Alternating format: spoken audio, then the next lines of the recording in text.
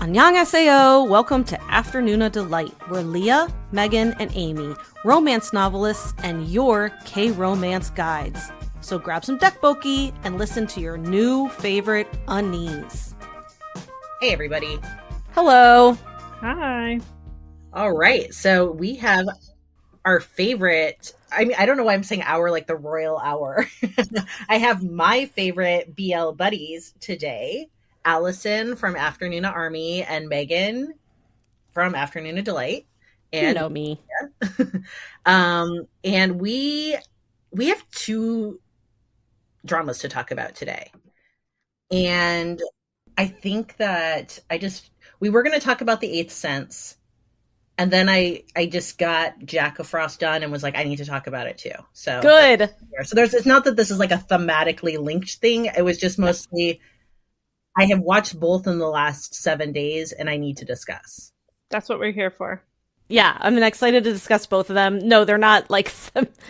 Well, I don't know. They kind of both have those like that like slow like angst and like some sexual tension in both of them. So I don't know. We could maybe make a, a thin thread of connection. Yeah, we, can, we, can, thread the needle a little bit. Let's just start. by, let's just talk about the Eighth Sense. Then we'll pivot and talk about uh, Jack O' Frost. And how do you want to? I mean, let's just decide now. I feel like do we want to make it really non-spoilery or how do you uh, how do you, I think we got to kind of talk we can how about we highlight when we get to some spoilers. I, I think we need to talk with some spoilers, especially when yeah. it comes to like Eighth Sense, just because I think that there's, you know, some plot points that we should discuss that are obviously spoilers. Okay. Yeah. So we will highlight when we get to the spoiler sections just mm-hmm. so that you know to fast forward. But honestly, both of these dramas are not that long. Go watch them because they're amazing. I mean, you can watch both in a night, like Probably. separate nights, unless you really want to rock it. But I would take two nights. I definitely, I definitely watch Jack Frost. I think in one sitting. I could be oh, wrong, yeah. but I'm almost I positive. Too. I did. Yeah. Eighth Sense, I had to stretch over two days. Yeah, I did two days too. right, well, let's get into what kind of like the overarching, like, you know, uh, blurb is for the Eighth Sense for those mm-hmm. of you who don't know or just need to reorient yourself. So we have Ji Hyun, who is a new college student from the Podunks, and he is struggling to adjust to the bitty, busy city life of Seoul. And at university, he meets Jae-won, who has just completed military service. And they both um, are in a school surfing club, and they both begin to develop some feels for each other. And during one surfing trip, they have some intimacy, but after a triggering incident, Jae-won acts as if nothing happened, which leaves Ji-hyun confused about their connection. So this drama was released this year, 2023. Its running time, it's funny now that I'm like, I oh, just blast it out one night because its running time is about six hours. Up, it's easily two days. Easy. It's easy two days. Easy. um, it is 10 episodes with about 30 to 40 minutes an episode. And I would say the genre is like a new adult, like classic new adult romance. These are students who are not, you know, school age they are not full fledged adults living out in the world. They're kind of in that like college age period that we would classify in book publishing as new adult and kind of all the angsty goodness that comes within that we can kind of expect from new adults. And I just want to mention real quick, it's on Viki. Yes, it's on Viki. Sorry, I just always like to mention, especially with BLs, because they can be on different apps. It is on Viki. Yeah, and so I think it's pretty accessible to most folks who are, you know, excited to watch uh, Asian entertainment in general. So, to the two of you, this drama's gotten a lot of hype. What drew you to the drama?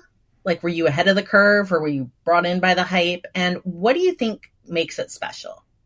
If you think it's special, you may be like, I hate it. I'll go. Um, so I just only watch BL pretty much at this point, and it. I follow a lot of BL accounts on Instagram, which is my only social media source of information. Um, and it like I just saw it coming like trailers, and I was like, oh, putting that on my list. So it was on my to watch list. I watched it from the beginning, um, and the hype built around it, which was really interesting just to see then like how much of my Instagram feed was taken over by it as the weeks progressed. Um, what makes it special for me is the cinematography, which is at some points sort of like um, shit showish, where I'm like, can we just like maybe brighten it up a little bit so I can actually see them a little bit better? Um, there's some weird things that happen like with the the cinematography, but overall it's very unique and beautiful and not really a style that I've seen in KBL or Thai BL um, before, and that was really neat for me. The other piece that makes it really special is the music. Like the soundtrack is really incredible. I think I've got all the songs on my like playlist now. Um, and I think it's gotten hype for those reasons and because of the chemistry of the leads. And the actor who plays um, Ji Hoon is he was picked up off the street and was like, "Hey, do you want to be in this role?" Like he wasn't an actor. This is his first. They just found him, which is staggering because I was looking up to see what else he'd been in, and it was like nothing. yeah, yeah. I did not. That's brand new information for me. I did not know that. Yeah. So and it's there's a clip of them doing a press conference and he's like making finger hearts and hand you know all this stuff and the actor who plays Jae-won just like puts his hand down and is like come on buddy like you can do this. It's adorable. So super cute. Yeah well it's funny because you and i obviously we dm on instagram about mm-hmm. bls uh, me megan and allison. And you were like, are you going to start it? And I'm like, no, I'm not because it's giving me not happily ever after vibes. From the trailer to everything, I was like, I'm getting, I'm getting tragic vibes and I am not going to get invested in these guys and then have one of them die. Like I just, I'm not, I'm sorry. I don't want to do it. So I was like, I'm going to wait. I'm gonna wait. And you, I remember Alison, you're like, I might try to hold off. And then like the day, the next day, you're like, I caved. I'm watching it. and um, and you kind of kept messaging. You're like, it is really good. It is really good. And I'm like, okay, Alison, I know, but I'm gonna wait. And then and I knew when it was airing. And so the the day after the last episode, I wrote you and I said, "Is it safe to watch?" And you wrote yes with a smiley face. And I was like, "Okay, okay, I'm good to go." yeah. I'm good to go. But it was the same. Um, I got, I saw like a lot of hype. I saw clips and I was like, really, I was, as much as it was kind of giving me tragic ending vibes, I did like the atmosphere of how it looked like it was shot. The two leads are both very unique looking to me. Like I love the ca- I love the cast. Um and I was just extremely interested in in it from the beginning. Like I think one of the first clips I saw was kind of like the infamous wetsuit scene, and I was like, oh my god, like that. Whew. So um, yeah, that's basically I, I same. I like got swept up in the hype, but I held strong. I held strong. My problem is like literally 100% of my Instagram feed is BL. And so if I don't watch it as it comes out, then it's going to get spoiled for me. I was so. just going to say that. I was like, you probably, and I, I had to resist because sometimes I would sign on to Twitter and it was less just like comment after comment about the eighth sense. Like for a while there, I didn't go on Twitter because it was full of spoilers. Yeah. How about you, Lia? What drew you to it? So what drew me to it was surfing, honestly. And so oh. you know, we can get into the surfing a little bit later, or you know, we can you know, we can bring it up right now. I think um, you don't see a lot of surfing in K drama. and so, you know, there is hometown cha cha cha, and there was some surfing in airs. But, you know, I live in a surf town. I am not myself a surfer, although, you know, there are family members in my immediate family who do surf a bit. And and so yeah, I mean it just caught my attention for that. And then there was just kind of like an aesthetic to how it visually looks that just felt a little bit more indie and that got me excited. And so Megan, I know that we first met I think on Twitter when you were like I want a new adult book that's like Garden State. And I was mm. like me too. Mm-hmm. And so not to say this has like the vibe of Garden State, but just like it felt a little bit more offbeat than some other things that get packaged a little bit more mainstream, I guess. Yeah. So actually, I, I want to say that I have watched a lot of college ish K dramas. And again, I, I, obviously went to college in the United States, so it is it is going to be a different experience than than college uh, in another country. I acknowledge that, but I would say that this K drama is the first K drama to me that felt like a college experience. It felt the most real to me than literally any K drama I've seen that was had a college setting. Um, I don't know if it was like the friendship camaraderie, um, the like making friends like awkwardly and like sitting at, at lunch. Um, there's like a big party scene at the end that I don't know. There, I almost can't explain it. There was just some sort of like authenticity to the way this was written that to me felt like a genuine like university type experience that I haven't gotten in in any other K drama. And I think what was also nice was that the character of Ji Hyun, who's like our protagonist, I guess, who's, you know, from the country and coming, he's introverted and he has some social anxieties. And so I felt like that resonated a lot too because he is just kind of awkward and nervous. He's working to hold down a job. And then, you know, but he is like sweet and adorable. So he kind of does get like adopted a little bit like a cute puppy by like two of the Seoul girls that are like more sophisticated. But that felt genuine to me too, because sometimes that does happen. Like you get the guy that's like your like kind of like your friend zone buddy that like mm-hmm. you're just gonna be with. Like you're not looking to like get with them. Like, you're just like this is like kind of like our little like charity case that we've adopted. And I feel like that was kind of his role until he kind of got like, you know, noticed by the the surf yeah, and that scene with Jae-won and his female friend, who's like the president of the surf club, where they like go to the bar in the middle of the day and they're just like having existential crises about their future and just like yeah. getting drunk on beer and soju. I was like, I've been there. I've done that in college, where you're just like, man, the future is scary. Let's just go to the bar after class. Like, I don't know, just, mm-hmm. uh, there was something about it that felt so authentic to me. And maybe that's another reason I related. Like, I think it's the only college K drama too where I was like, I sort of wish I was there. I sort of wish I was on that campus.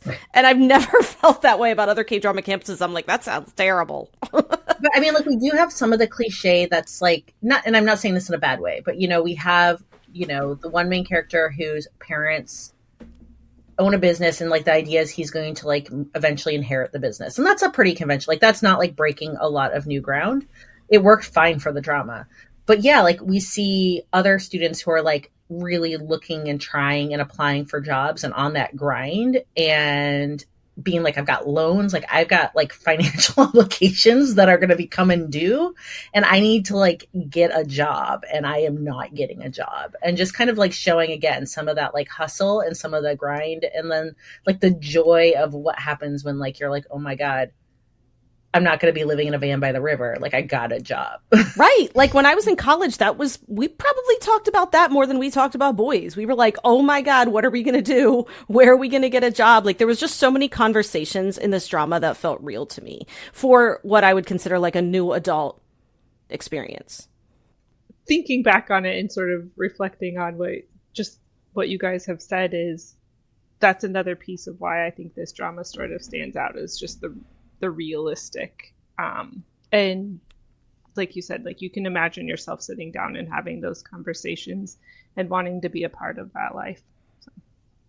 yeah i guess this definitely didn't feel like like a fantasy drama and by yeah. fantasy i don't mean like magic i mean like the fantasy of romance which we often get in k dramas which i also love mm-hmm. like i love that too um and i I think that's one thing I like about the amount of like BLs that are coming out from Korea and like Thailand because we're getting such like um a big swath of representation.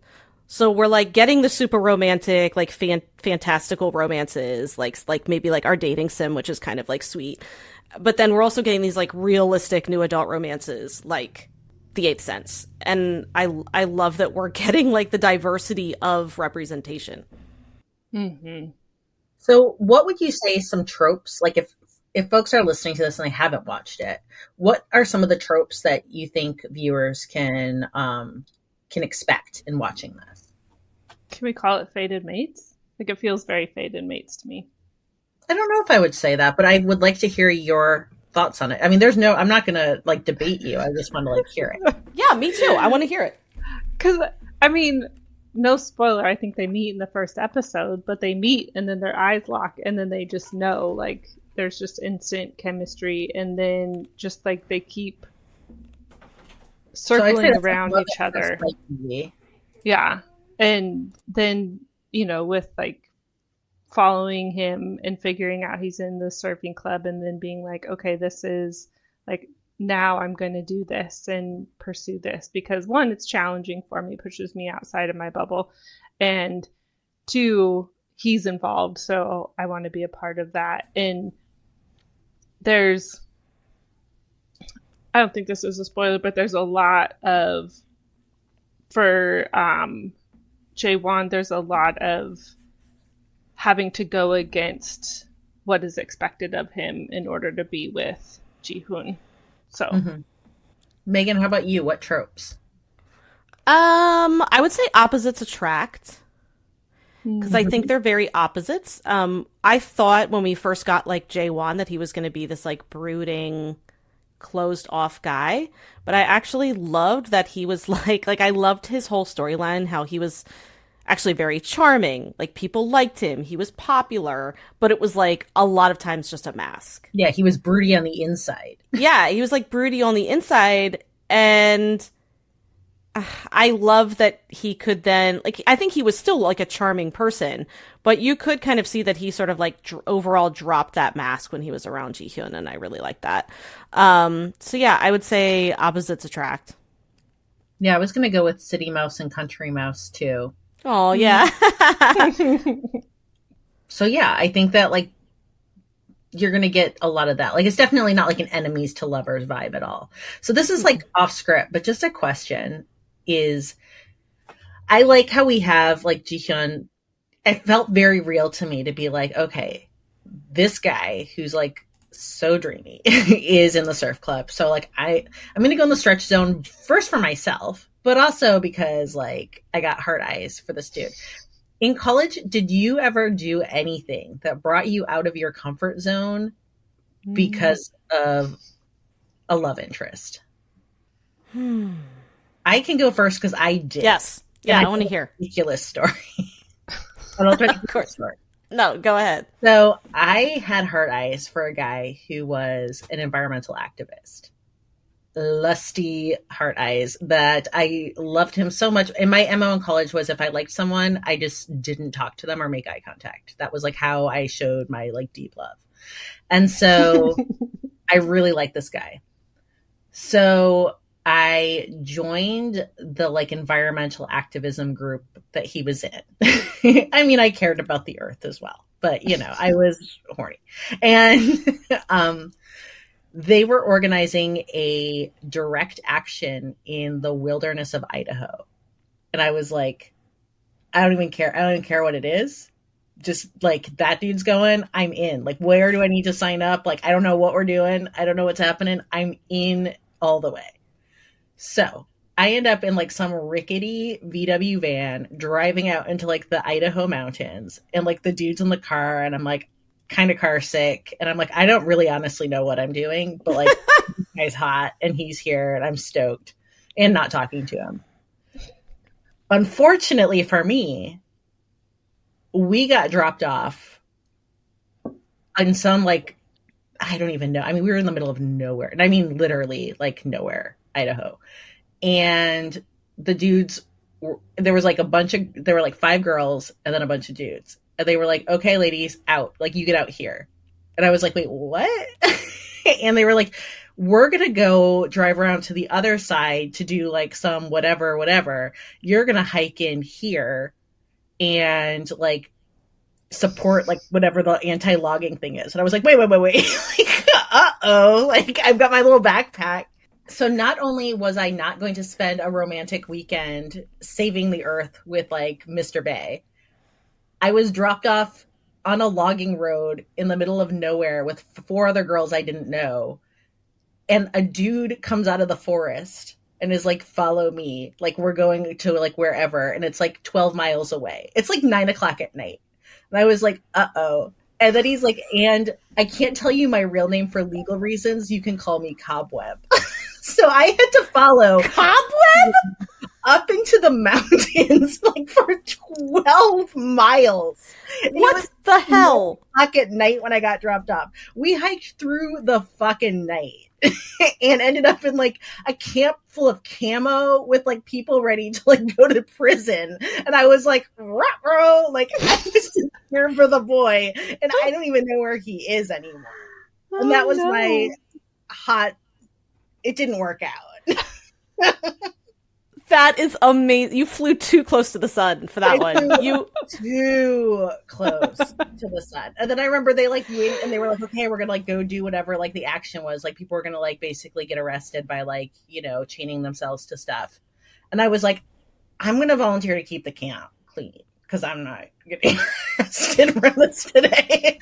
and then like they were like the girls I was with, they were like, we're all gonna volunteer to keep the camp clean. And we were all like, holy shit.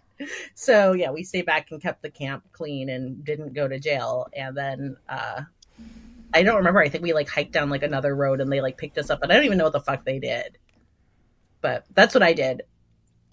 I, I mean i ca- how am i supposed to how am i supposed to follow that? And i can't even think. I guarantee i did something. Maybe i just have like a bad memory. Or and i also feel like some of the stuff i did is not pot appropriate. So i probably just Oh my gosh, like more appropriate than going to jail for environmental terrorism. I just probably, you know, yeah, I I just I can't think of anything. I mean, I am definitely not a wild child by any stretch of the imagination, so I can say that probably the mm, the most out of character thing that I did in the spirit of wanting to get closer to my crush was this was in high school. Mm. So, my I went to one high school. The boy that I had a crush on went to another high school that I used to attend. So I went to that high school for one year and then transferred to a different one. So I knew the layout, I knew his teachers, like I knew some of like where where he was.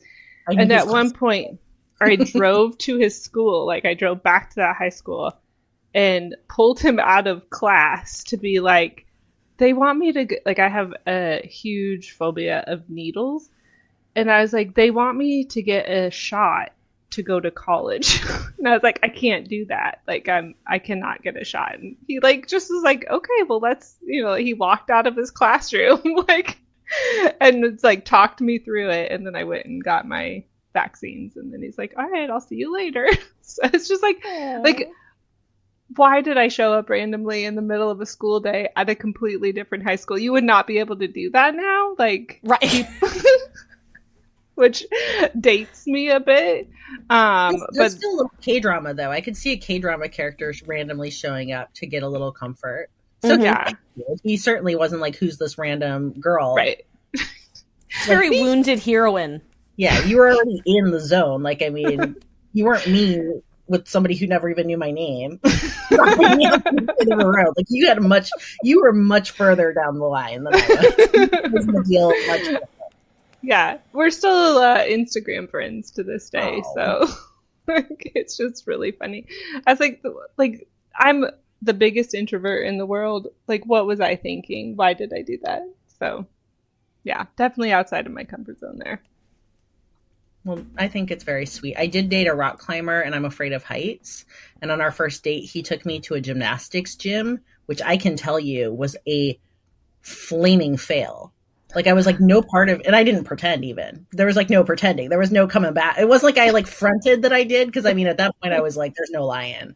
Like not only am I like dizzy on a whatever a balance beam, I can't do a cartwheel. I can barely do a somersault. Like I've never been able to do anything. And so he takes me to a gymnastics gym. And he's like, "Just have a go." It was in Australia, of course. He's like, "Play around," and I was like, I mean, I, at one point I think I ran towards a horse and like jumped on the little vault thing, and I was like, ah, like pushed myself off the horse. Like, no, I can't. You're like, I'm done. Yeah.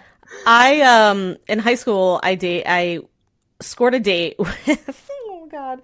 So this guy had a huge a huge crush on uh in high school and I worked with him at the time at a pet store.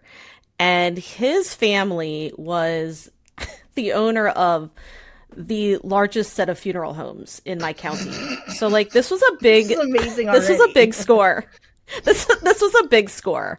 Like if I could have married him, it would have been a big deal. Okay, and really would have gotten in with his family. I would have been set for life and the afterlife and, and, the um, afterlife. and the afterlife.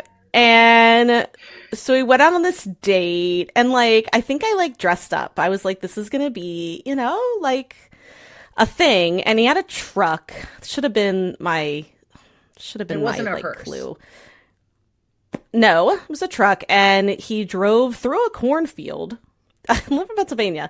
He's just in a cornfield with the bass in his like truck, like blaring. And I remember like sitting there, probably in like my khakis and a button down, being like, "What's happening? Like, where are we?" And he like, I think he wanted to like show off, but like, I'm not You're the audience. The tar- you're the target audience. Yeah.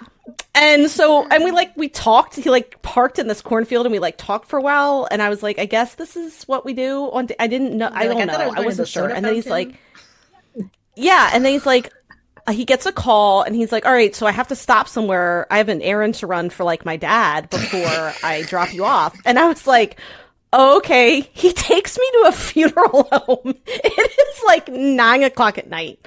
Okay. It is, it is dark. And he's like, you can come in and wait for me in the lobby. So it's like the lobby of this funeral home. And they have this like bird cage of like yellow finches, but it's dark. Like, do you realize like what that looks like? A f- the, like the lobby of a Yeah. funeral home, like in the dark. And he mm-hmm. had to go down to the morgue for some reason. He's like down there with dead bodies. And then he like comes back up and he's just like, okay, like I can get take you home now. I'm like, what is this date? Why are we at a funeral home? Why what did is we come to a happening? Oh my god! I was like, I thought we were gonna like make out. Like, wait, He's like, come in the coffin room, baby. yeah. Like, I'm like, I don't. And then, okay, I'll then I'll one more, and then I'll stop. I dated a guy who he was the Chucky at Chuck E. Cheese. Oh my Like, God. he, that's what like his the job- janky old mouse, yeah. the threadbare mouse. And he, like, he's a really nice guy. He'll never listen to this podcast, but he was also the type that would like sweat, like, pr- like drip sweat. Like, I'm talking those guys that would just like, just drip it. So he'd mm-hmm. like pick me up after being in this mouse costume. he'd be dripping with sweat, and then there would be no, I don't know why, but there would always be Chuck E. Cheese tickets on the floor of his car, and I'd have to like shuffle through them. like the skee ball tickets, when I sat down. you Yeah, like the yeah, I never understood why. I, so maybe that's that's what I did for love. I just went on really weird dates. okay, that's it. Well, you know, how about so? Okay, bringing it back to the drama. The eighth The eighth sense. sense. What do you think Yeah. about the choice of having surfing be kind of like the framing activity? I'm not like a surfing person. I've never like been around it. So it's not like a thing I'm interested in. Um and normally like I don't like it cuz like they're like for like a drama type situation cuz I'm like they're all like covered up. I don't know. This entire drama made surfing so sexy that I'm no longer like anti-surfing. Now I'm like, okay, I I'm okay with it. I I will I don't I would like to know like how far away were they? Like it just seems interesting to me that a university would have like a surfing club, but like I don't know. I mean, it did seem like it took them a while. To I get mean, to the South sea. Korea's not that big, so it's a couple hours. True. It's a good point. I mean, they had to stay over usually when they went. So, Yeah. Mm-hmm. Oh, we know. so one thing I liked about it, if I can get metaphorical with it, is like you know, so a couple things. One is that we see that you know the lead isn't a strong swimmer, um, and he kind of like admits to that. And so I thought that that was like a good choice to put somebody who really is like you know, for lack of a better word, like a fish out of water um, into this situation where they really are going to be kind of like thrown into this, you know, bigger pond, quite literally being the ocean. So, like, the college experience is both like that. And then going into the ocean is very much like mirroring that experience as well. And so I thought that that worked really well as kind of just like a motif, I think, for like the, you know, the experience that he was having at college. Way to hmm. make it deeper than me. That's what I'm here for.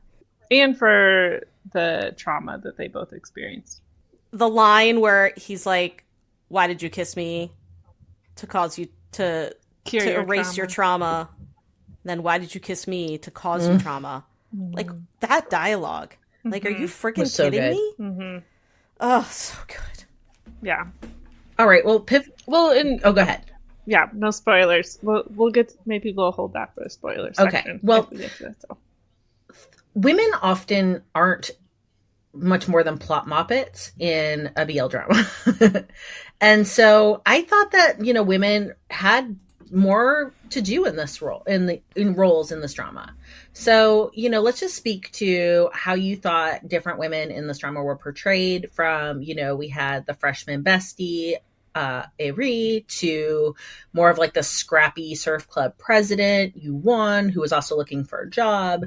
Then we had the ex girlfriend, kind of campus it girl, Unji. And then we also had the therapist. Yeah. It was a very diverse, like you got to see many faceted facets of like female characters in this. Did you have a favorite, like one that stood out for you? You know, look, I loved Eri Mm, and Yuan, honestly. But Eri, I just thought was, uh, I mean, both were interesting in different ways. Yuan, I thought was interesting because I think she, I haven't seen a lot of dramas that have someone like that. Like sometimes there's a bestie girl, but not somebody who's like bestie girl for like, you know, the other, the other hero, bestie girls. But she was more fleshed out and realistic like we've already talked about like her job struggles and things like that. She also wasn't like maybe conventionally beautiful. Um she does have a taste for younger men which was kind of cute.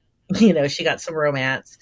Um but i liked her. She was just like a little bit quirkier but like friend zone. But it area like because she was really confident I felt like, and I liked at one point when he like, you know, Jihyun's like, "Do you like me?" Like it was kind of like, you know, is there something here? Like, are you like into me? And she was like, "Uh, no, not at all." Basically, um, she's like, no, I know who Yeah. you're into because I can Yeah, read yeah, the she's like, situation, no, no. and she's like, it's, yeah, yes, Yeah, she's like, I can read a room. right, yeah.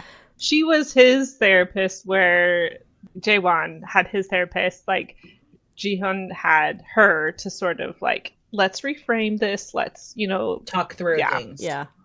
So yeah, I actually have something to say about all three of them, if that's okay. Um, so I've definitely said on the podcast before, the evil ex-girlfriend pro- plot is my absolute least favorite trope. Yeah, like in the it. history of of things, I hate it.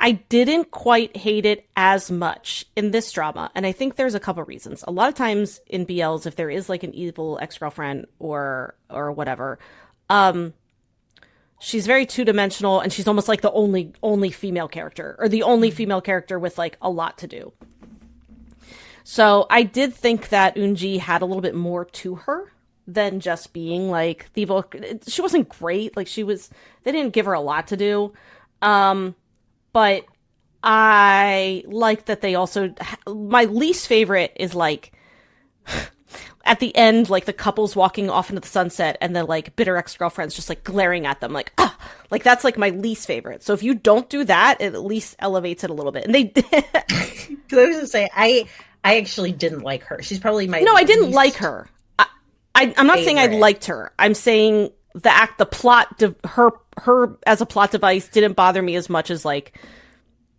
I've been bothered before. But no, she didn't have like she didn't have like any other goals. See, I she bothered me more probably. I'm more forgiving. Like in watching, I'm trying to think of one that like the mechanics of love. I remember like that was one where like Alison, you really didn't like the like ex girlfriend of that, and I was like, Oh, can I, actually didn't her. mind her.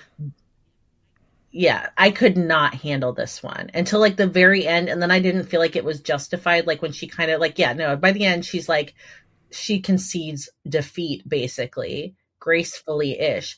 But she was a mm-hmm. bitch, man. Like she was a nasty bitch and she was nasty to like the nice lady who worked in yeah. the restaurant. Like I just was like, I needed to see some reason besides the fact she was really pretty for why she was like the like the queen girl. bee. Like you know, I'm like, she's give me like some... the queen bee. Yeah, and I want to know like why like he had been in love with her. Like I, like it makes me always like more sus- like it when you're in love with somebody who's like the evil ex, you're always like, well, why? Like you've been diminished as like a person then because like you kind of like were involved with this person that was mm-hmm. so horrid. I wish that they had just done a few things more to kind of like I feel like everyone else got to be rounded out a little bit. I mean, maybe not the therapist because she was kind of just like always the therapist, but like everyone else felt like they had a little bit more to do, and she didn't really surprise yeah. me ever. She was just consistent. No, and I and I agree with that. I'm just saying overall, like I think because that there are other women in the drama who I really liked, I was sort of like willing to like look past it. Okay, because, because she, wasn't wasn't, the, the only, woman who they mm-hmm. made evil. That is what that is like the biggest thing I can't stand. I loved Yoon Won, and I really love that she had full conversations with Jaewon, her best friend, that weren't focused on his love life. Mm-hmm. I love that. Like, mm-hmm. yes, that's not like conversations are are well rounded, you know. And even with um with Ari, I thought the same thing. Mm-hmm. Um, she was like she just wanted to like spend time with Ji Hyun because she liked him. And I also like that she kind of had this like scrappy, like she had a character to her. She had this kind of scrappy attitude. She didn't like when seniors pushed her around. She stood up to Eunji. She stood up for her friends. Like she had a, a personality that was beyond just like being Ji Hyun's friend as well. And so that was another reason yeah. I was like kind of willing to forgive this like two dimensional ex girlfriend because at least you gave me like you know, Yoon Won was I freaking loved her. I I would have I would have watched a whole drama of Yoon Won and Jae Won just like drinking at a bar. Yes. they were so funny. I agree, but the evil ex girlfriend, I am I'm not going to come back from. I quibble with her the whole no, way through. Even the fact that they you put her in the surfing club is interesting. Like she's like the like pretty princess, and she's in the surf club. Like show me more. Like I want to know more about this. Instead, it just felt like they were like, anytime she was around, she was just yeah, I mean, I'm just no, disappointed. She I agree. was horrific. Yeah, I, yeah I, and I don't, I don't disagree. To a degree, I just want to say one thing. To a degree, I don't even know why that was necessary. Like he didn't need mm. an evil ex girlfriend, did he? Like, what was the point of that? I didn't mind it because it's like I, I didn't mind having an ex because it adds to like a layer but of messiness. evil ex. Like, why did she need to no, be evil ex? And the fact that she had like cheated yeah, like, on him and then like he finally is like i want you to know that i've always known that you were and i liked you and waited for you yeah, i was over were, like, that. in the love hotel. I was like why we've really gone down a rabbit hole. And none of this is redeeming her yeah. whatsoever or making her interesting. She's just worse. i was like why is this necessary for the plot? Like i don't need this for the romance of ji-hyun and jae-won. I don't even need it yeah, and like the healing that you're having with this person. Yeah, and I don't no. even and I didn't need it for like the healing arc of Jae either. Like it really no, just no. wasn't necessary. But you know, we love to have evil ex girlfriends. and I just think it like you know it filled some. That's true. you know what? Give us more like hotel room scenes. I'm just yeah yeah. We could have used like four more hotel scenes. Um, before we leave this part though, Alison, I do want to ask you, given like your professional background, what is it like for you? Like, how did you feel like the therapist scenes oh, resonated? This is a good question because I had actually somebody in the Patreon group um, ask me that because we were watching Eight Sense at the same time and we were messaging each other about it and to be honest, like that part of my brain is a flip that I switch on and off. And I turned it off for this. And so I had to go back, like after we had talked about it, and like watch and sort of like think about it through that lens because I had to turn it back on and be like, oh, okay. Um, that makes sense. So I think, well, one, like a lot of things came to mind when I was watching it with that sort of like piece turned on is every therapist has their own like therapeutic orientation and therapeutic lens which which they see their world and their client and treatment. And so she may just have a very different lens than I do, and it's not right or wrong, it's just different. Um, but one of the things that I liked is you knew that they had a long standing relationship because he saw her in high school, I think. So that he had been seeing her for many years, is the impression that I got from their dialogue. And he, like, they he saw her for a period of time and then had come back recently for medication essentially is what it what the drama made it sound like and you could tell by the way that they talked to each other that they had like good rapport and in that she challenged him because like you can't just come out and say i mean some people do like i don't think it's therapeutically appropriate to just come out and say to somebody that you haven't known very long for very or very well or don't have good rapport with hey um, you're torturing yourself because you feel guilty about this. Like, that's not going to help the therapeutic relationship at all. But it, they did a good job of establishing that they had a relationship and that she had like been with him for some time and sort of could push him in different ways. So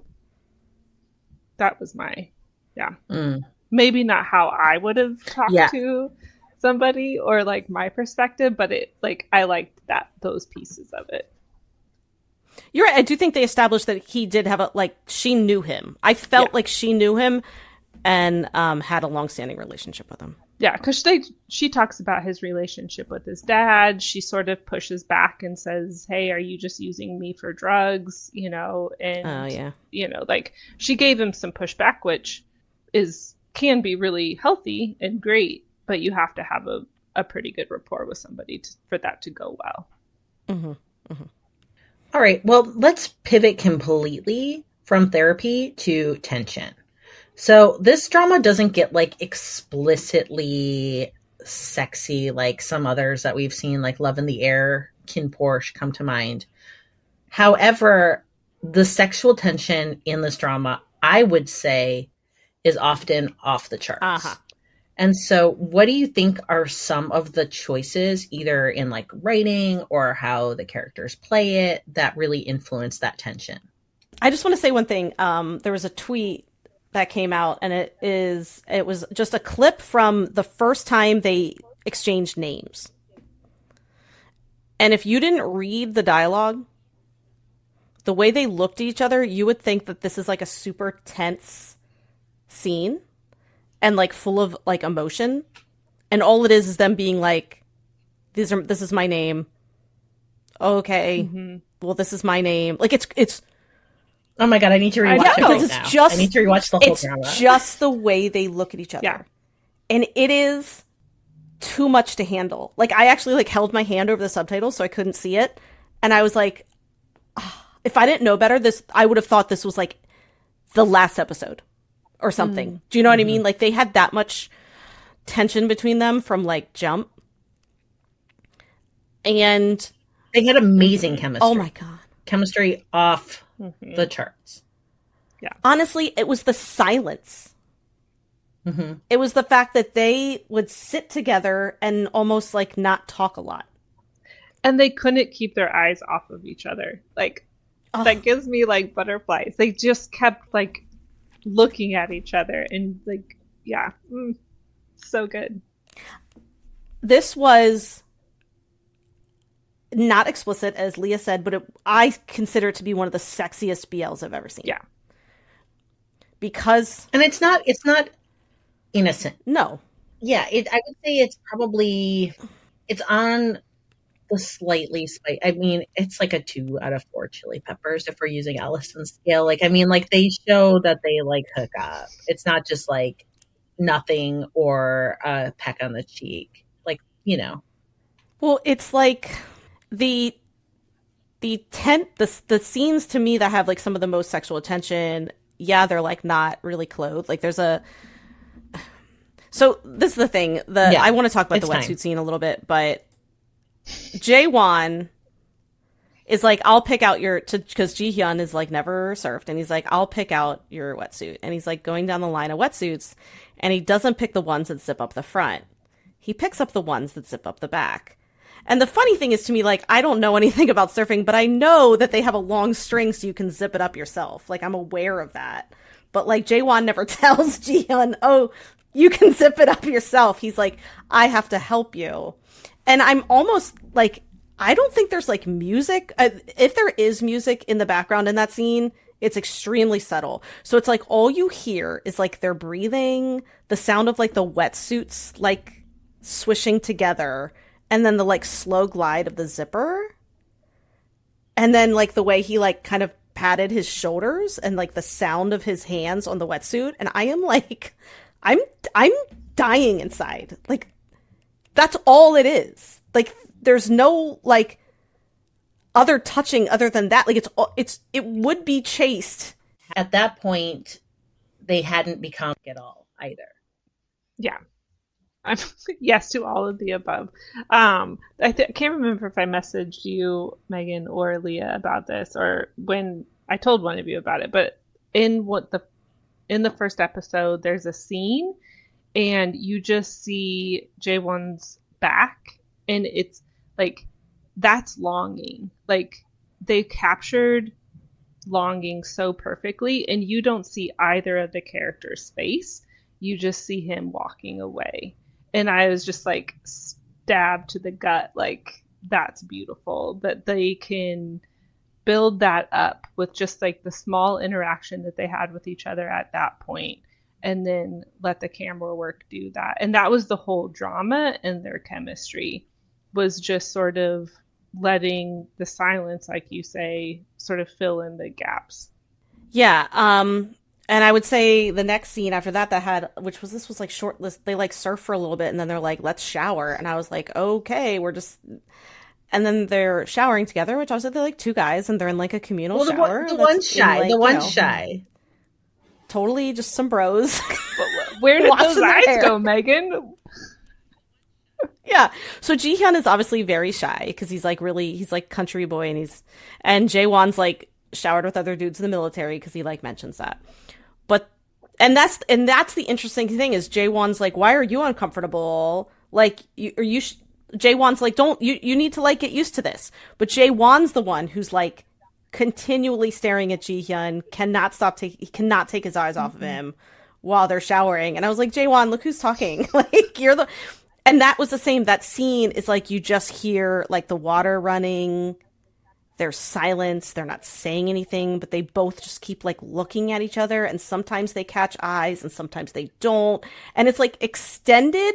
And the whole time I, my chest, I felt like there's a band around my chest that was just tightening and tightening. And I am like, yes. how is this possible? And then a like, minor, like one that's more minor is, um, you know, because then you're like waiting for like when is it going to finally like there was a lot of like when's it going to finally happen, and like they had like lots of like you know almost kisses that were interrupted, which like you know you're always like ah, and then they had like the night on the beach together, and I was like okay, it's finally happening. Still didn't happen, but that night on the beach it reminded me a little bit of um, Coffee Prince. Have you seen Coffee Prince, Alison? Mm. Yeah, yeah. When they're on the beach, and but I mean like some of the long i mean i feel like to me it was some of the best longing i've seen since coffee prince mm-hmm. because coffee prince really was anchored in a lot of longing and mm-hmm. this felt very similar to me and like that le- that kind of tier of longing. For sure.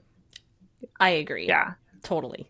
Yeah. And then when they did finally like got to where they were able to be together like it was just chef's kiss consummate their yeah, relationship. Yeah. All the things they did together.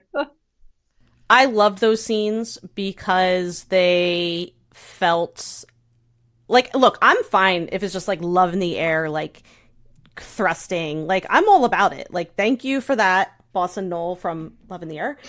But this was not that. And this was like it felt artistic. Mm-hmm. They were like giggling under the sheets. Like it was like they were just so happy to like have that time together Mm-hmm. They would like they were like play biting each other. Mm-hmm. Yeah, the play biting like, was pretty. Oh my amazing. god! Everything about when they were together was just so freaking sweet, and it was still sexy, Mm-hmm. and it was like, oh, I want now. I'm I might I have know. to watch I feel it like again now that I'm Yeah. listening, I'm like, tonight I just need to rewatch it. Yeah, for It sure. was so. Because it's so dang cute. They're so good. Yeah. And it's his first drama. He was not.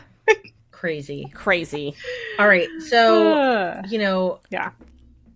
I don't even want to get into the ending really. I just think that we can leave it to say, you know, because we've done a pretty good job making it not super spoily. It is an HEA, which I think is important for folks mm-hmm. to know. But is there anything else with this drama before we pivot to Jack O' Frost that you need to get off your chest? It's just a lovely, lovely drama, and I hope people watch it. And I hope more KBLs like this are made. I, I hope with it was very successful, so I'm hoping that's just gonna they're just gonna keep you know making them making them different diverse give us like meaty stories because this was a good story um you know the trauma of like Jaewon like it, there was a good story behind um the romance Yeah. And I would just say, like, with KBLs, they, it feels like they think that the funding, that people aren't going to fund them because they think that, uh, whatever. Like, I'm sure there's a lot to it. But these are 40 minute episodes, and there was, what, eight or nine of them? I can't remember. 10. Um, and we ate every piece of this drama up. Like, it was so good. And so there is a demand, and there is, like, people who want longer episodes. Just give us more than 15 minutes, people. There's so many. right that Yeah. I, I I'm sorry, but I was just gonna say yes. Like it, there were 40 minute episodes. It was one of the longer KBLs, obviously that's that's been done, and I still was like, oh, it's too short. Yeah. It's too short. Because there's so many, there's some really, really good ones coming out. Like you mentioned, our dating sim, which is all out now and on Viki. Fantastic. Absolutely lovely KBL. 15 minute episodes. Mhm.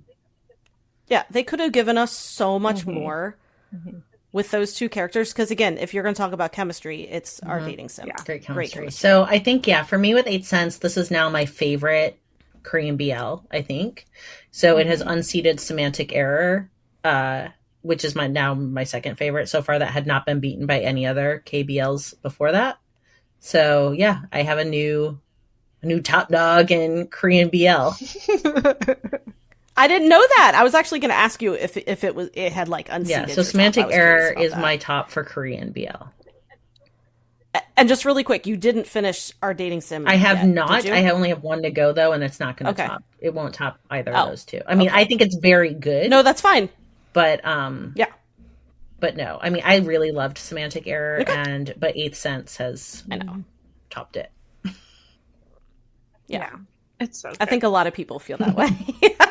it's so good. And I think part of the reason is because they gave us a meteor show with 40 minute episodes. Like Yeah. this is we are and demanding I think to me it. now i will use both it's nice because i think both of those now are good gateways to recommend to folks who are like i want to try a bl and i don't really know where to begin i feel like both now i i'm probably going to start now with both of these two semantic error and eight sense they're very different but i feel like they're um more full-fledged stories and i feel like if you're like a romance fan but you haven't tried bl like it's a good crossover to get invested i don't know if i would mm-hmm. I stick agree. start people right in the thai bl d- deep end Yeah, because there's a learning curve there. There's a learning curve. but speaking of flavors of storytelling let's move over to japanese bl which has become my latest jam Me too. and you, you guys in your JBLs. we love them. I I don't know. Lia and I are into the vibes. i feel the We are vibes feeling so the vibes. much that does not Mhm. surprise me one bit. They're so yeah. I mean, We're to really me, and it. look, I haven't seen enough yet to feel like I'm like a real expert. I've seen probably about five, but I'd say that like there's a little bit of like an austerity to them. I feel like they're very quiet, silent as well. There isn't a lot of music, um, Mm-hmm. and I just feel like out of any, if we're talking about, and I mean, like, look, I'm only going with the ones I've seen. I mean, I know there's like a lot of Taiwanese BL that I'm not even talking about because I haven't gone there. So I'm really coming from a place where in Asian entertainment, I've only watched Thai BL, Korean BL, Japanese BL. They each have kind of like their unique little spin on like storytelling, I feel like, and like some like, Mm-hmm. uh, yeah, like what you can expect. But Japan feels the most elegant to me I would say. I would not disagree. Alison? I don't know. I don't know that I disagree. I have the hardest time with JBL. Um, I don't know if it's the tone or the way that the story plays out, but like part of my brain is like, nope, we're not doing this. But yet I watch every single one that comes out. There's something about it that doesn't jive with me. I think they're beautiful. I think they're well done.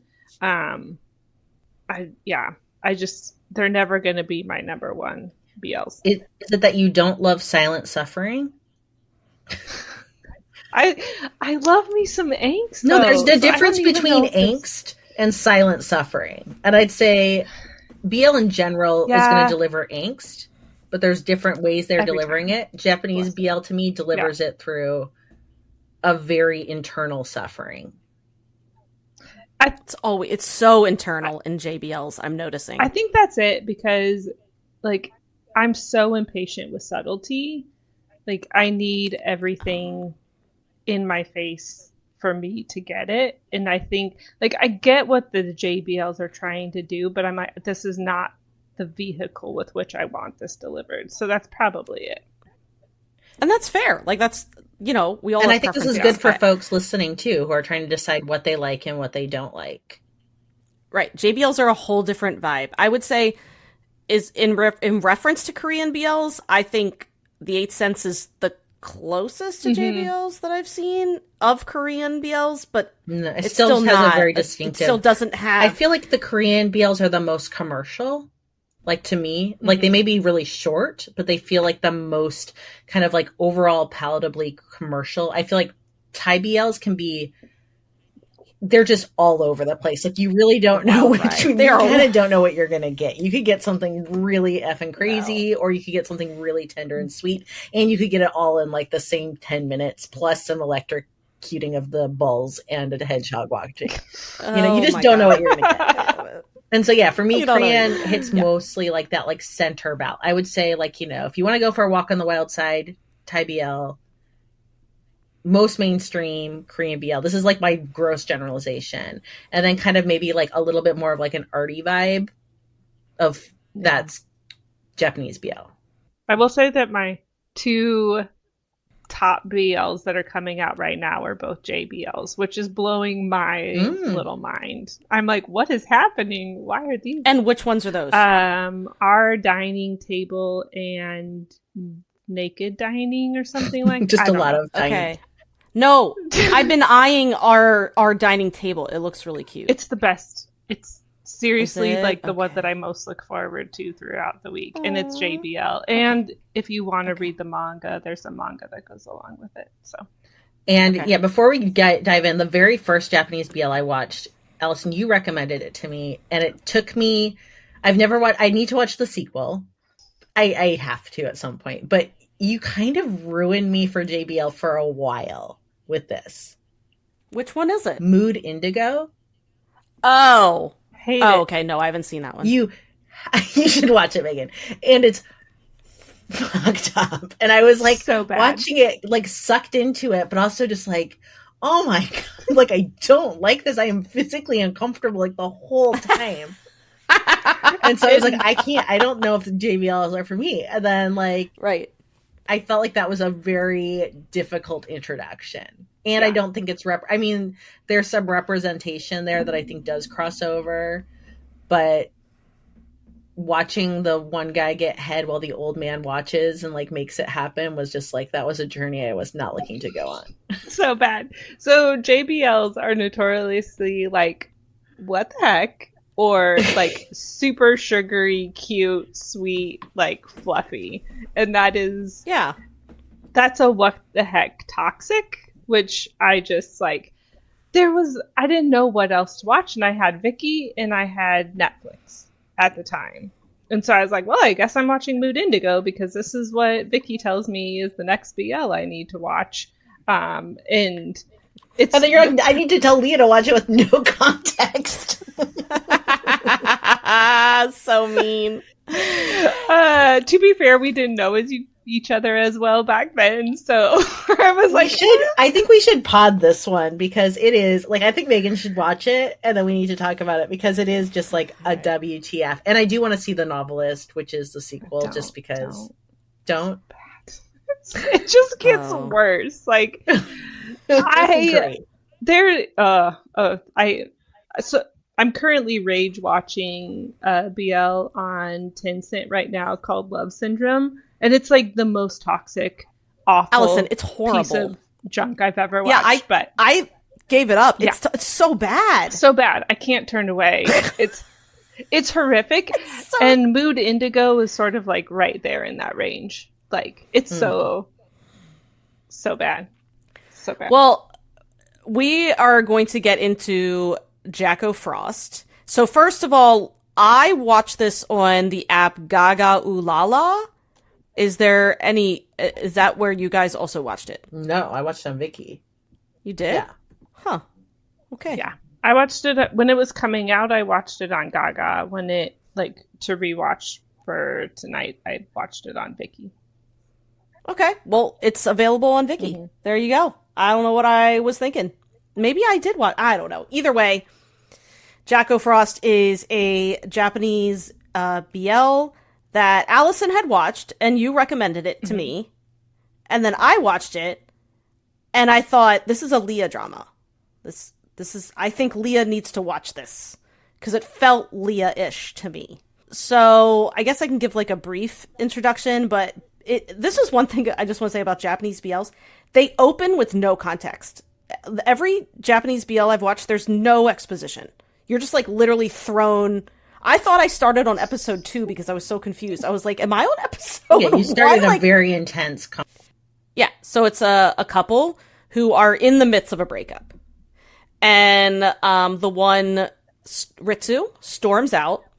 And the next thing we know, he's been like hit by a car or something. The next time Fumiya sees Ritsu, he's in the hospital with a head, his head bandaged, you know. with a, I'm sorry, like any head injuries in like Asian dramas kill me. But anyway, and Ritsu, he remembers his brother, but he does not remember Fumiya, does not remember him at all. And Fumiya isn't quite sure how to handle it because they broke up. And in Fumiya's, Yeah, and it was Fumiya's dumped like dumped him. And so he's not, he, it's not like he wants to be like I'm your boyfriend because he's not. Like Fumiya's like committed to the end of the relationship, but I don't know if Fumiya's committed to the end of the relationship. They've had some drama. well, So okay, let's True. let's unpack what happens, I guess. And there some spoiler alerts, Right. but first let's just try to talk about a little bit high level of like, you know, Alison, I feel like you're a little more lukewarm on this. Megan and I liked it. Um, who might like this drama and who might want to give it a miss? So I think if you liked if you if you watch Japanese BLs, if you liked My Beautiful Man, um, I think you would like this. Uh, I think if you I think if you liked The Eighth Sense, you would like Jack O' Frost. Yeah, I could see that. If you like second chance romance, you'd like this. Yeah. If you want like lightness, like our dating sim type light, maybe not. But I also wouldn't say that Jack O' Frost is like crazy angsty.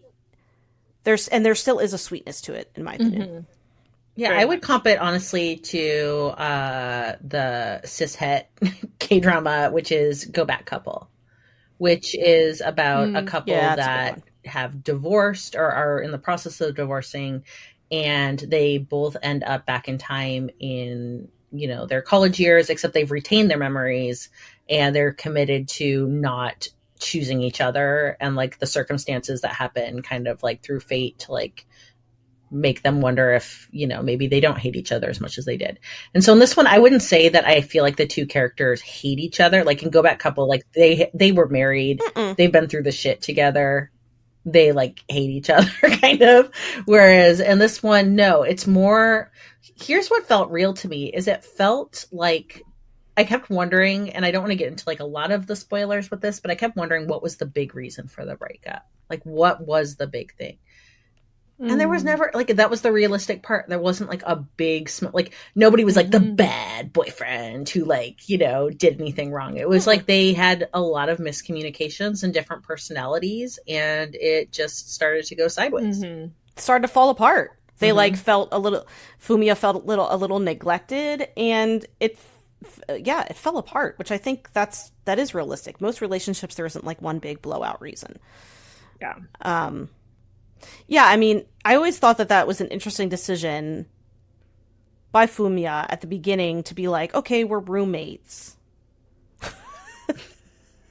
Do you think I'll be your roommate. do you think that he I mean this isn't necessarily a spoiler. Do you think that the drama did a good job of explaining why he chose that as it unfolded? You know, I will say no and yes. Mm. so no, not really. It didn't like overtly like get into him like kind of like questioning and soul searching and being like, "Am I doing the right thing?" I feel like it just kind of like happened. Like, well, he's gonna come back home and live here now. And honestly, I went with it to a point because I feel as if the breakup was an impulsive choice. Ah, I was just gonna yeah. And so therefore, I don't think it was like a done deal. Like I don't feel like it was like I am so done with this person and whatever. I felt like, you know, they had like a very heated thing. They both meant to end it, but at the same time it was like, mm, I don't know if this is the right thing. And so this was a there was still a lot of love here, and so I think there was just the sense of like never really having wanted to say goodbye in the first place and now not having to say goodbye, but also being like once you start going down this road, it starts to become a very complicated road to go down. Mm-hmm. Of Yeah, like I mean- not telling your partner that they have amnesia and they're living with you. Yeah, I mean, I feel like Fumiya kind of there's like a snowball that started rolling Mhm. the minute that Ritsu got uh like left the hospital and he could, like couldn't stop it and it just got too big and he didn't know what to do at that point. Because I think he himself like this is the thing I think he himself was conflicted on how he felt. Like I he clearly still adored Ritsu and I think I think he loved Ritsu. No I don't think. I know he did. Um but I think even he himself was like can we do this again? Like, I don't think he expected to like bring home his amnes- amnesiac boyfriend and realize that he was like, oh my god, this is like when we first started dating, and all of a sudden I'm I'm I am still in love with him. Like, I almost feel like it wasn't it wasn't like deceptive to be deceptive.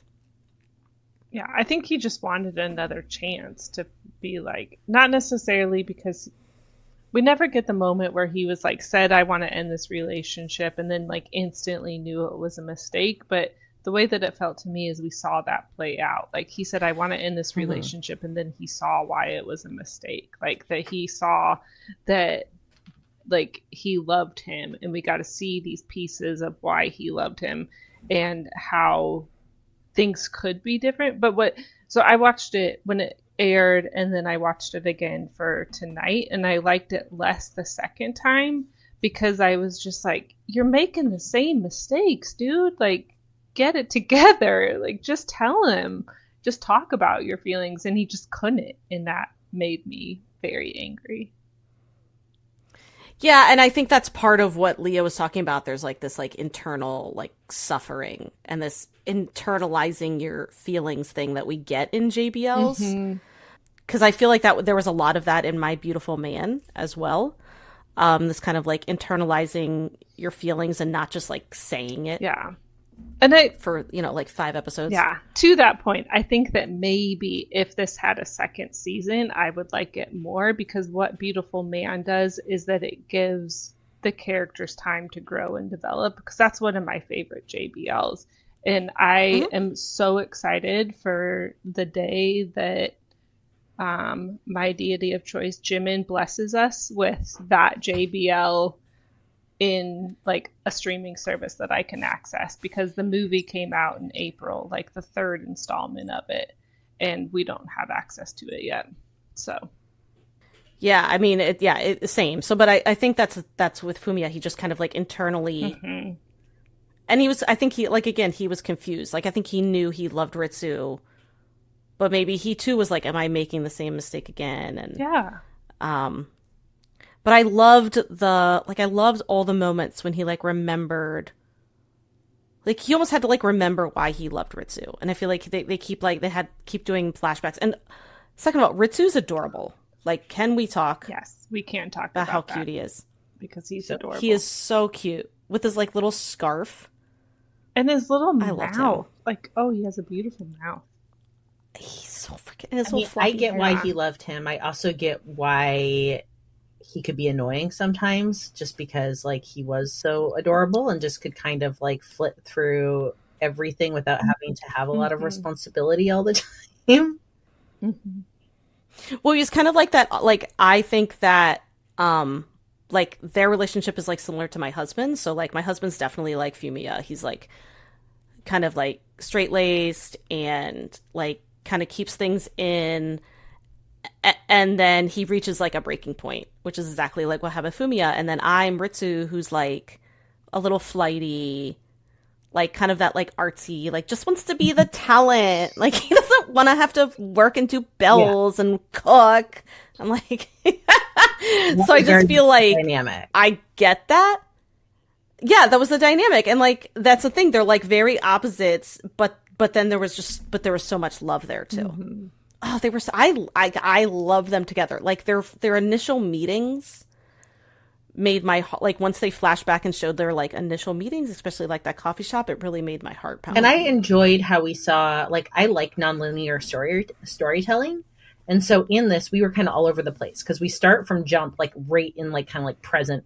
Well, no, in pat I guess I don't know, was it past present like we start with the breakup. We move to a breakup, then we move to amnesia, then we move to like them move like him moving back in as just kind of like the roommate. But then we start to have the flashes through Fumiya's memory of like you know this is how our relationship was and so you start to connect that way.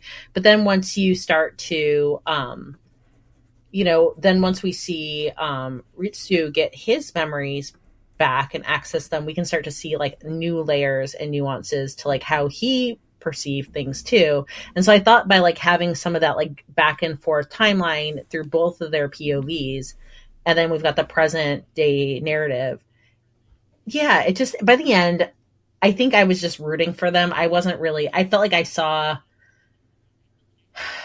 i don't know like i hear what you're saying alison like at the end was their growth? Not really. Like they basically just kind of start back clean but it also made me just realize that sometimes in relationships things can feel like insurmountable problems that aren't really and in this case that's where i feel like they had Mm. gotten i felt like you know like Fumi had gotten to where he's like i just can't do any of this anymore Blah. when like he could it's just that like you know sometimes the people that we love drive us crazy Yeah, mm-hmm. and he needs. and I to think he tell. learned to communicate. Gotta communicate. and that was like the end that was Yeah. basically like they had learned the lesson hey we should communicate Yeah. better Yeah. but we needed a whole amnesia plot to get there. So, but I do have a question. Did any this is what did any of you think that Ritsu was faking it? no never Oh no! Okay, the whole time. Well, not the whole time. Almost the whole time. I thought maybe Ritsu was faking it, and that was going to be the big reveal. Was that he was like, I wanted to see if you would like you were going to be honest with me, and you weren't, and like I don't know. I I don't I, I like, but I so I was playing a fourth dimensional chess game with you. Yeah, and I was convinced that that was going to be the big reveal. And then when like Ritsu's like he actually gets his memories back, I was like, "Oh shit, I was wrong." but that I really I don't know why I thought that. But yeah, I I mean, I think like again this was oh my god, when they went to that like vacation Mhm. home. Oh, it's just so sweet. I just I guess I just loved watching them I thought, well, I think I said this on Patreon. I thought it was a really clever way to do a second chance romance Mhm. because that's what this is, basically. Um, and I thought it was an interesting way to do it Mhm. with the amnesia plot. And it was just really delightful to watch them fall in love again or remember why they were in love in the first place. It also reminds me kind of vaguely um, of the book What Alice Forgot by Liane Moriarty. And in What Alice Forgot, that's an amnesia. I did not love this book, but you know, I thought that there were some compelling things about it, and so and so what I thought was interesting is that it, this is more from the perspective of someone who has amnesia. So basically, it's somebody who wakes up and thinks that they're still 29, that they're pregnant, that they're desperately in love with their husband. And it turns out that they've like had this accident and they're actually in the process 10 years late. It's 10 years later. They've lost 10 years. They have three kids. She's about to turn 40. She's getting a divorce. And she has to be like, what the fuck happened? Like, you know, all I can remember was everything was great. Now here Oh, wild. Like okay. what happened in the last 10 years. And so a little bit of like, it's almost like it was from the point of view of like a Ritsu of like them, except like in her case, she knew that she had lost this time. She was just trying to patch it together. But, you know, I thought it was an inch. I didn't, I can't say like I loved it the most, but I think I liked it. And I probably, if I read it again, I might like it a little bit better. Um, but yeah, kind of like I feel like that was a bit of a comp too, because amnesia definitely is like a very hit or miss for me, but lately I'm warming to amnesia and what amnesia can do in a plot. Yeah, I mean, I think that's why I was like hesitant to start this. I was like, I don't know if I really want to do an amnesia plot. And then it started and I was like, this is so good. Like this is this is It's great. definitely not a typical amnesia plot. And it's not a typical second chance romance, which is my least favorite trope of all time ever. Second chance. Yeah. Like wow. hands down. It's, it's your least, least favorite? favorite. Did yeah. said? But I really like this drama. It's just in the second, I just didn't love it. What is it that makes I... it? Because I feel like second chances usually people's very top or almost top. Oh, absolutely not. Like I don't know. It's not my favorite. It's not either. mine either. But I'm just curious to like. I haven't had anyone be like, I can't stand it. Yeah, I won't pick up like typically, unless it's strongly recommended by somebody or apparently a BL, like I won't read it or watch it. And it's, I like, I don't give people second chances. You're dead to uh. me. Like, that, and I don't have any patience for people who do. So.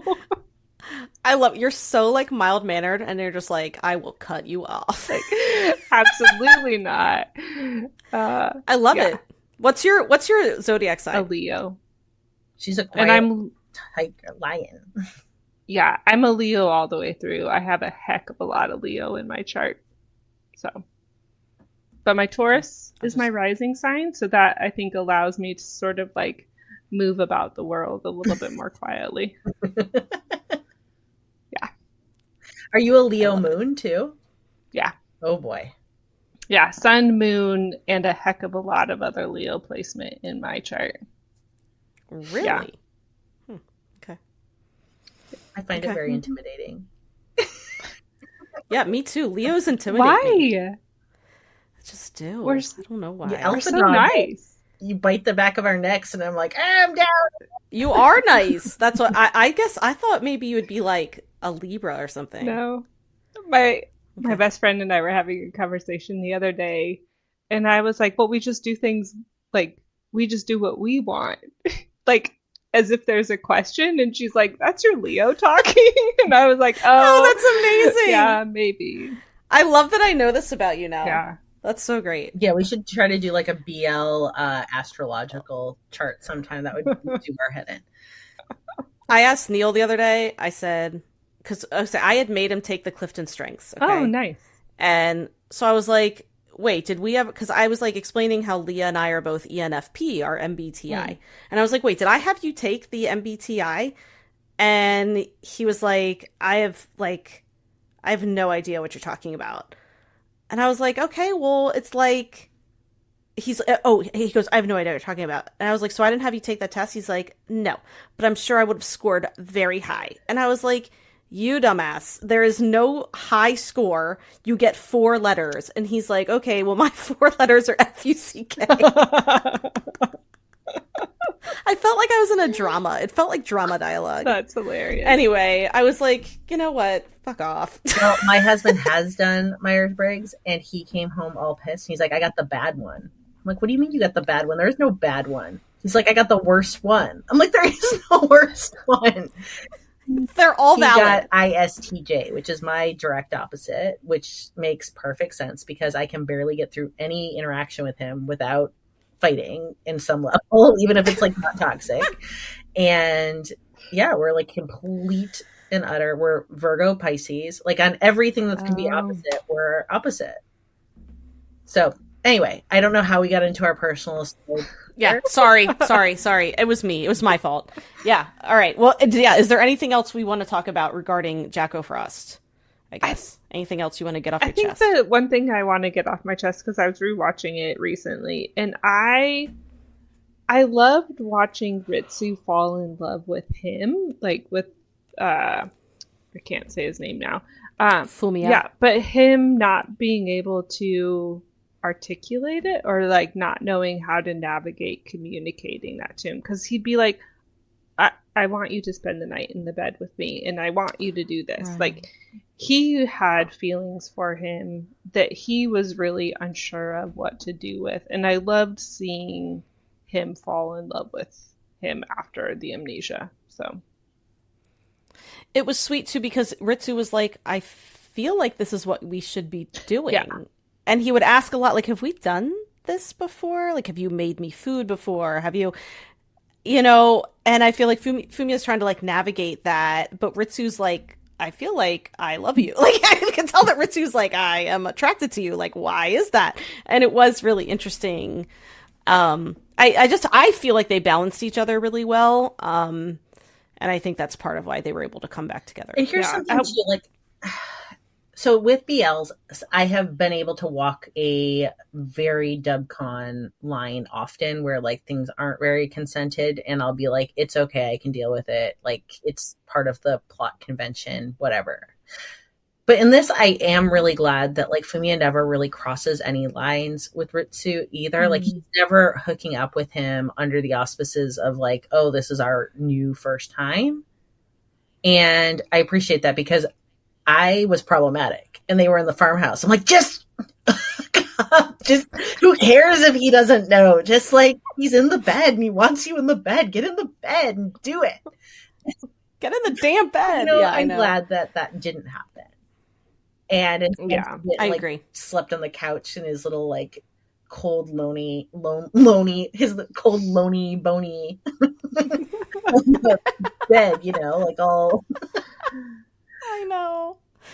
I agree with you. The consent was nice. I, I like. Thank you. yeah there was no dub con he was never like con- yeah he never was trying to get with ritsu in a way that was going to later when he got his memories back be like whoa you were totally Right. hooking up with me this whole time too and Yeah, right. like you, Dick. Yeah. And in their flashbacks, like consent king, like Hmm. when they do like the first time they have Yes. sex, like Oh, I forgot. He- they do flashback to the first time they have sex, and it is the sweetest. Oh, Yeah, like, I forgot. You're right. it's just like well done from start to finish. Like that's why you're like, okay, Ritsu, I get Yeah. it. I get it why you fell for this guy and why you put up with and he makes good food. Yeah. and i mean look i'm more of a ritsu than a fumiya like a hundred percent I am but i Ritsu, yeah. felt like i could understand fumiya's frustrations Oh, for sure. Absolutely. Absolutely. Yeah. And that's why I think the show did a good I I, I wasn't like team Ritsu or team Fumi. I was like I'm team I want them back Mhm. together. hmm hmm And that's the way I think it should be. Like when you're watching a romance, Yeah. you know? Yeah. and I was glad there was no like you know they had like the kind of ex you know like the ex boyfriend that he could I love that he could remember literally everyone except for Fumiya like you know he Right. remembered his ex who worked in publishing and I was glad because when he kind of came on the scene I'm like oh no we're gonna have like the whole evil ex this Yeah. The old like other man yeah, drama. thank God no Yes, I agree with that. Thank God that the, the ex was just like, "Look, I'm not getting involved in your amnesia shit. Like, I'm like, this is not my scene." Why was he even there? Like that just Because he had I- to give um i think so that um you know that way it let ritsu kind of have like some career like he couldn't just be a sad sack with no amnesia like or with amnesia like he had to have like some stuff and like he had to so being a wanted artist i mean i guess that's one correlation between eighth sense and jack o' frost was we had two two of the protagonists are illustrators Yeah. um and so yeah you had to see him have some competency he couldn't just be like the flaky naff nothing Pretty like boy. yeah he he's a very talented artist that's why he's Yeah. so flaky. And you needed Fumia to come up against his feelings to be like, oh, wait a minute. Like, Yes. there it is. That's why. Yeah. so you give him See, now I want to rewatch this Yeah. too. Now I want to rewatch both these. Ugh, they were they're both so All right. good. Well, I think we have talked for a long time. We've combined two dramas, Yeah. and I'm hoping that folks are going to, if they haven't watched, take the chance to jump in and warm their hearts. Ride the wave of Eighth Sense, and then go toast your emotions with Jack O' Frost on a fire like some marshmallows. Way to go! You just came up with that on the fly. I'm impressed. All right. Well, Anya. Annyeong. Kamsamnida. Thank you for listening to Afternoona Delight. Where can you find us outside the pod? Head on over to afternoonadelight.com. That's A F T E R N O O N A D E L I G H T You'll find links to all our social media, our book recs, K-pop and K-skincare recs, and if you want even more Afternoona Delight, because really who doesn't, you can join our Patreon where you can choose the patron level that's right for you. Join in daily K drama conversations, listen to bonus podcast episodes just for patrons, and participate in our monthly live K drama support group via Zoom. We can't wait for you to be a part of the community. Until next time, annyeong!